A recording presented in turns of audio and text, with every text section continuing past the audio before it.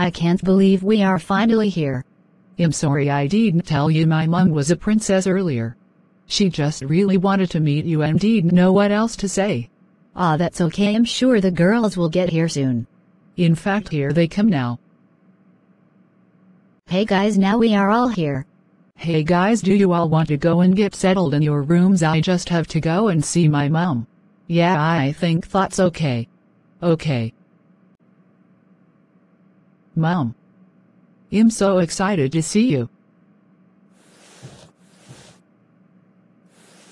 How is all your friends doing?